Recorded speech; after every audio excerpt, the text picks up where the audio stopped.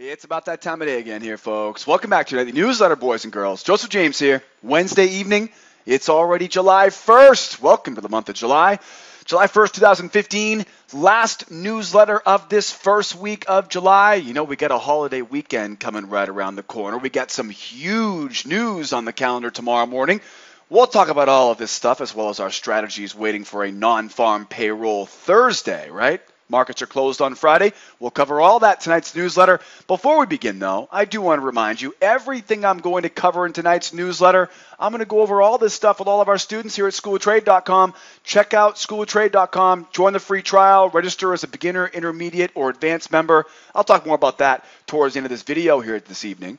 Most importantly, though, I do want to remind you here to make sure you're watching this video on our trading blog here at sidewaysmarkets.com. There are three reasons why you should be watching this video on our trading blog. The first reason is you can download all the charts that you're going to see in tonight's video. All the charts in tonight's video, you can download them right below the video on our blog here at Sideways Markets. Second thing here, I've got a free pass for all the non-members. If you're not a member of School of Trade and you'd like to be a member for a day or maybe a couple of days, I'll give you guys a free pass to come out and attend our live trade room as a guest. Grab that in the upper left-hand corner. And then how about our newsletter list? I'm going to send you an email every evening when the newsletter is ready to go out. Now you'll never have to worry about missing another newsletter report again. All I need is your name and your email address, and then make sure you check your inbox because I'm going to send you a verification email if you register for the free pass or if you register for our nightly newsletter mailing list. So make sure you download today's charts, have those ready for tomorrow's session grab your free pass and register for the newsletter mailing list. And don't be afraid to tell a friend, too. That's okay. More the merrier. I'm always open to sharing new ideas with new traders here. So don't forget to share this information with a friend. You ready to rock and roll? Last few drops here of this first week of the month. We got non farm payrolls tomorrow. The Greek referendum on Sunday, right? Fitting here to start with the Euro futures. Uh, big thing right now, though, is is markets are really low volume ahead of this holiday weekend. This is a big deal. This Fourth of July weekend in the United States is a big deal. Today was Canada Day can't say a bad thing about Canada. What a what a great holiday, right? What a great holiday. So holiday today in Canada. Noticeably lower volume early part of the morning today. It did pick up later in the day here, especially after inventories came out on crude oil. But the theme, though, the theme right now going into it is you've got some inconsistent volume ahead of a long weekend, holiday weekend, summertime holiday weekend. You have non-farm payrolls pending tomorrow morning at 8:30 a.m. That's going to have some people sitting on hands. And of course, unless you've been living under a rock the past few weeks, everybody's back and forth about Greece. And so we're going to be waiting until Sunday to hear about that. So add it all up. We've got to get to it early tomorrow morning. It's going to be an early in and early out scenario tomorrow. So make sure you understand. We've got 8:30 a.m. news tomorrow morning, and after that, it's going to taper off pretty quickly. Uh, I'd be very surprised tomorrow if we're getting any real decent volume in the market after 11 o'clock tomorrow morning. So it's almost a half trading day tomorrow. We'll get at it early in the European and U.S. sessions. But again, tomorrow afternoon, though, I don't think you're going to get much out of that thing because everybody's going to be getting the barbecue grill cleaned up, ready to go for this weekend. All righty? Let's start out here with the Euro futures, the 6E, my 16 anchor chart. Right where we want these these these uh, these buyers and sellers here right now. This is exactly where you want the euro to be. The euro is range bound, now testing support levels near the lows of the range.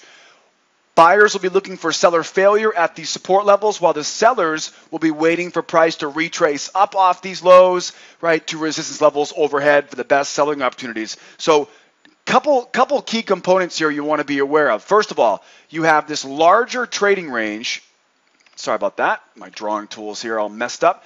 You got this larger trading range, right? Trading range high, trading range low. In between that, you've got this trading range, right? So it's kind of a wedge consolidating area here.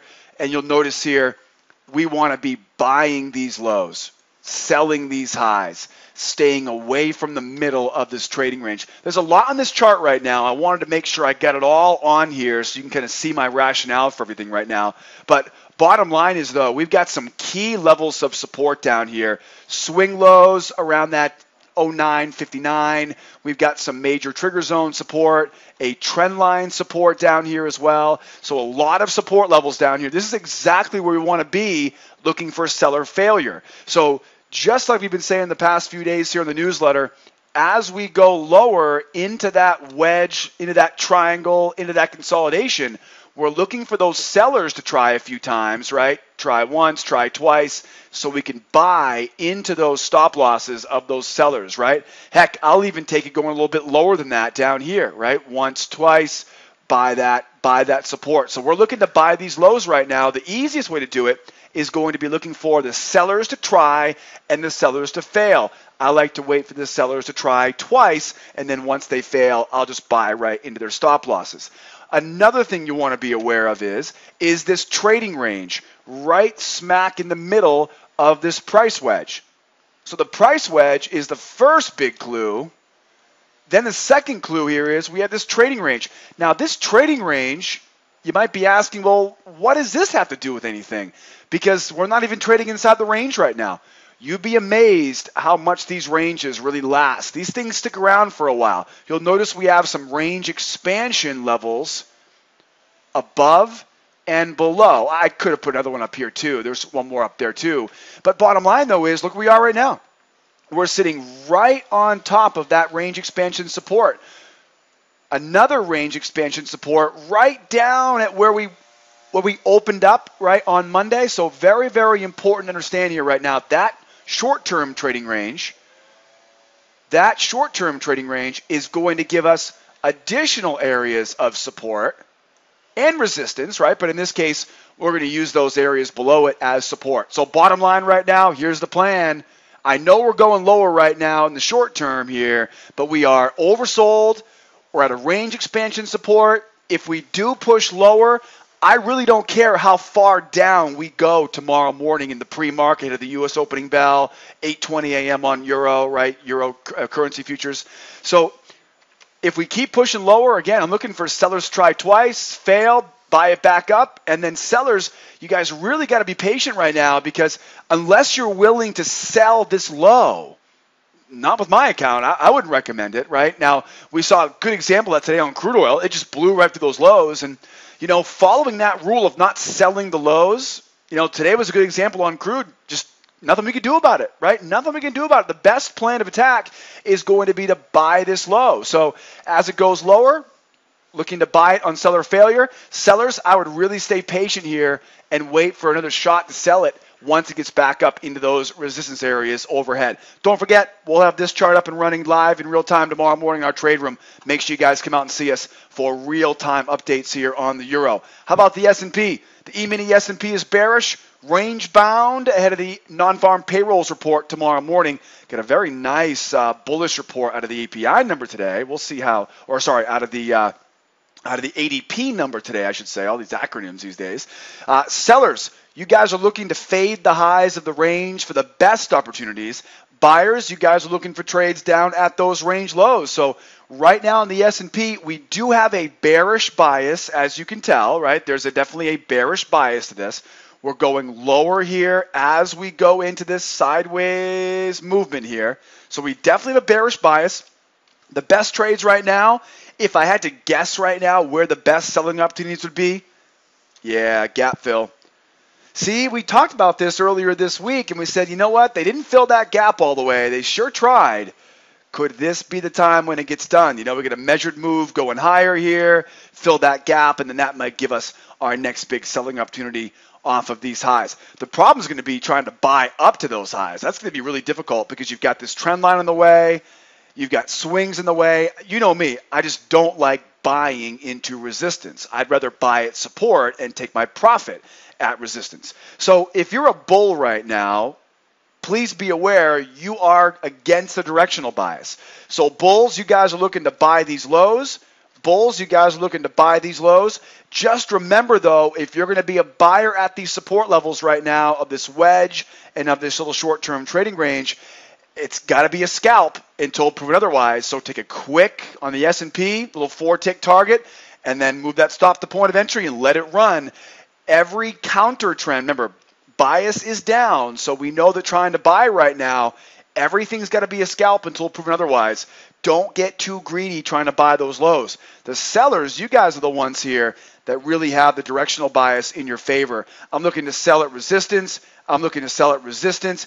If we get up if we get up around these areas though, you definitely want to be patient to get that gap fill. You know, it's almost all gaps get filled. We just don't know when they're going to get filled, right? So there's really no telling. But what I do know for a fact though is is that if we get up that close to that gap, there's going to be a lot of buyers there. There's going to be there's going to be fewer sellers at that area. So we definitely be looking for that gap to be filled here and then get that next push down. Either way you slice it though, bears, you guys have the bias right now. Selling highs, selling resistance, selling that gap resistance. And if we do make it all the way up, tomorrow is non farm payroll Thursday, not Friday, because the holiday. We do have measured move resistance though. They're at 2090. And again, I think the hardest part is going to be getting long up to that area. If you want to be a buyer up to that area, what do you think is the best way to do it? Look for the sellers to try to sell the highs twice. Yeah, fail, buy right into their stop losses. The easiest way to be a buyer right now, you're going to have to really be patient and wait for the sellers to try and fail at those resistance areas overhead. Then you can buy right into those stop losses, and that'll throw that price right at your first target. That way, you're taking all the risk off the trade quickly. And then, if you can get it to keep going here, again, the problem is your, your bias is down right now. So, until that changes, the majority of the market will be on the bear side. So, you've got to be careful buying into resistance, wait for the sellers to try twice, and then buy into their stop losses.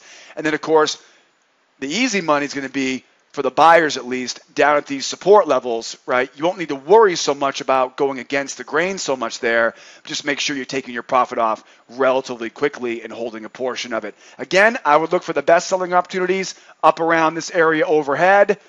You guys on the plan now for the S&P.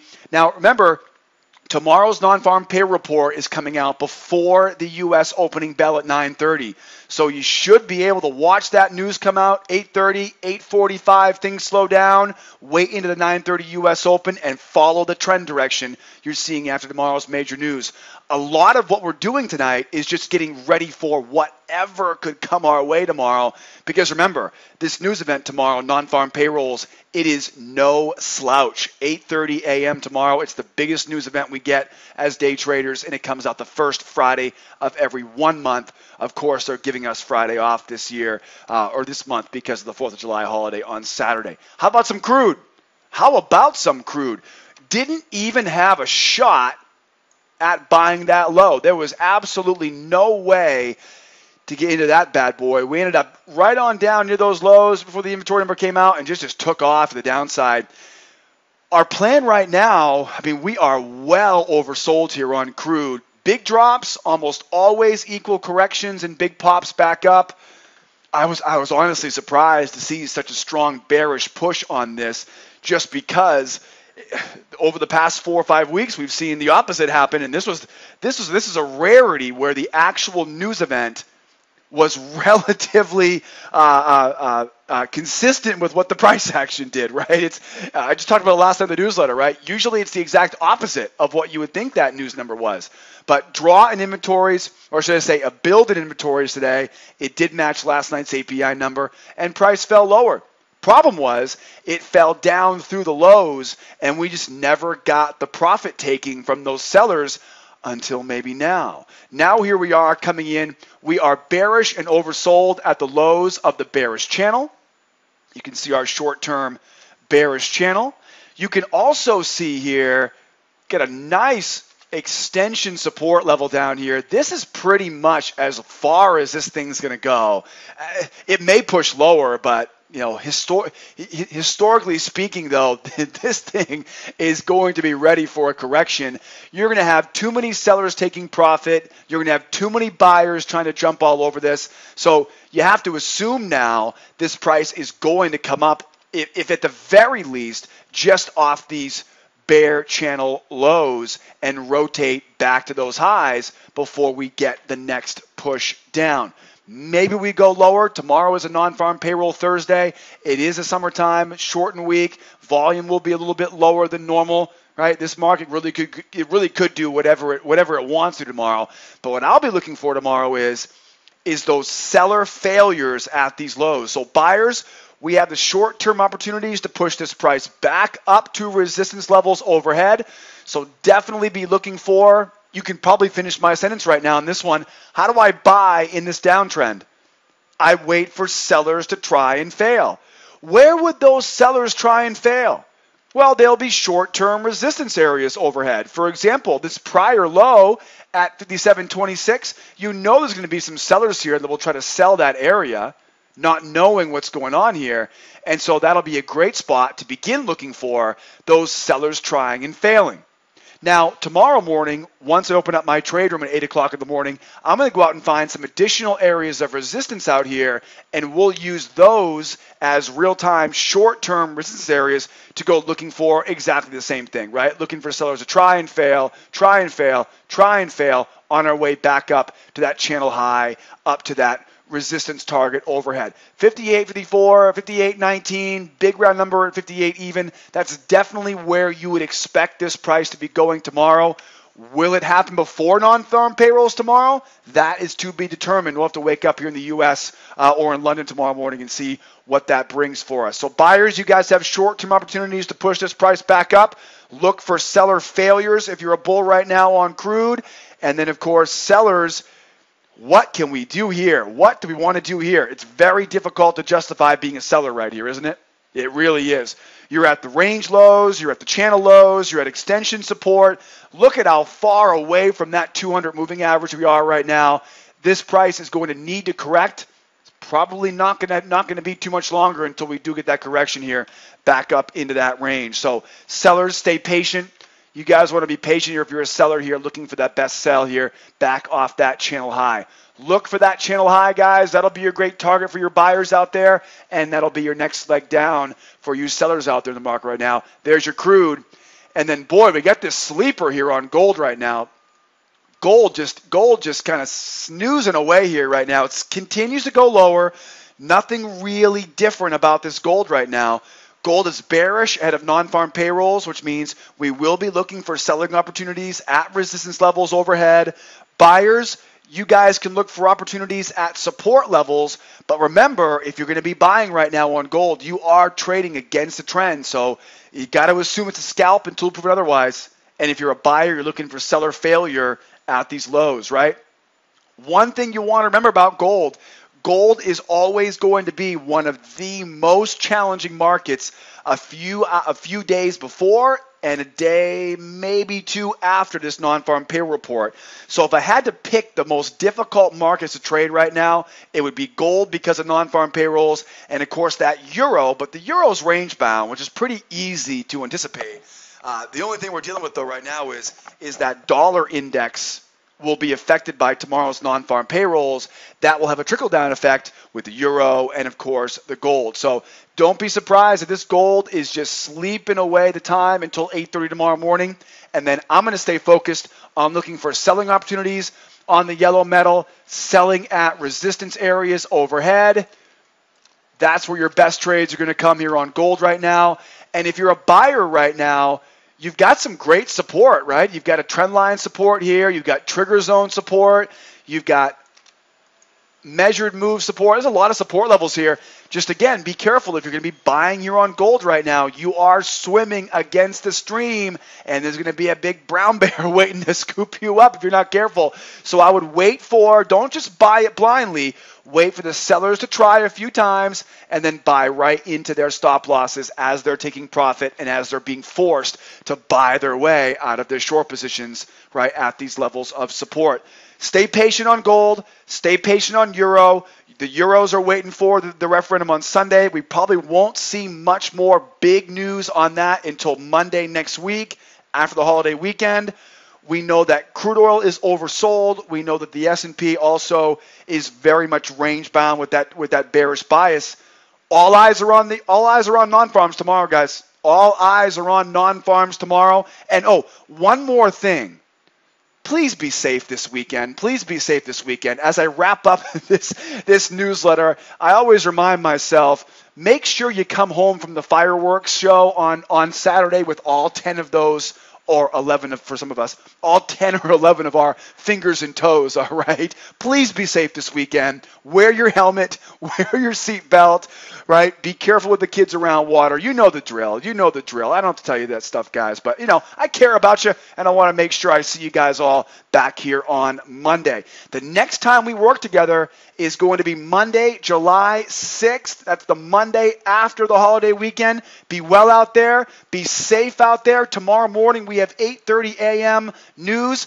I'm opening up our trade room tomorrow morning at 8 a.m. Eastern Time. I hope to see you there with me. And in the meantime, make sure you check out our free trial here at schooltrade.com. You're going to learn more with me in one week on my trial than anywhere else on the interwebs. Also, learn more about our three levels of membership beginner, intermediate, and advanced. And I've always got someone standing by to help answer your questions, guys, 24 7, 365. Have a great holiday weekend. Kick some behind out there tomorrow morning. Follow the plan, and you know where to reach me. My name is Joseph. Thanks so much for being a part of the newsletter. I will not see you guys tomorrow night for the nightly newsletter. It's going to be an early in, early out Thursday session, and then off for the barbecue for this weekend. Have a great weekend. Have a great evening. I'll see you in the morning. Adios, amigos. Bye bye for now.